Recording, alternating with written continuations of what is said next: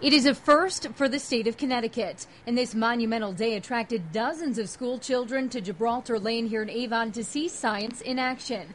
That's where a crane hoisted high in the sky not once, but twice this windmill atop a 100 foot tower near this home currently under construction.